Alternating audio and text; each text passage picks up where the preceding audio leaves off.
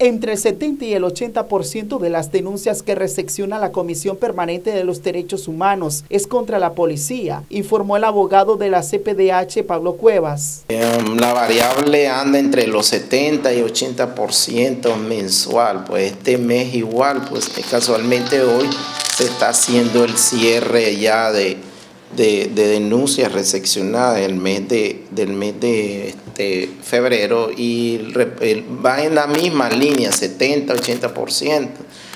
Nosotros también estamos desarrollando visitas in situ en el campo, en distintas ciudades de nuestro país y esa misma, este, esa misma tendencia es la que encontramos en todas las ciudades del país. La Policía Nacional es la que está reprimiendo, la policía está, este, eh, las personas le llaman secuestrando, eh, está asediando, está amenazando. Cuevas dijo que las denuncias también son contra grupos armados, sobre todo en las zonas rurales del país. Constitucionalmente la policía es la que está llamada a mantener el orden, a resguardar o a proteger la seguridad ciudadana.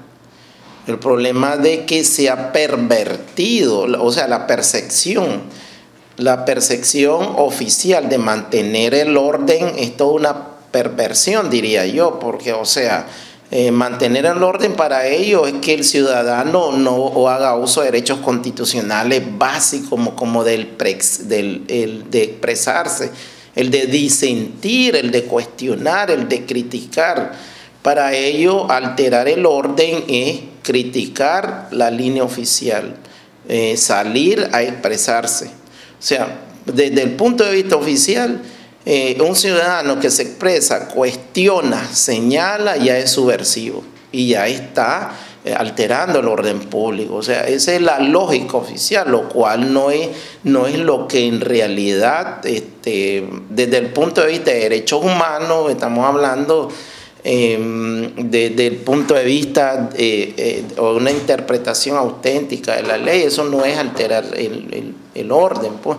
Lamentablemente esa es una realidad en nuestro país. Vemos caravanas, una gran cantidad de despliegue policial para reprimir a personas que están tratando de disentir y de expresar esa crítica. Noticias 12, Armando Amaya.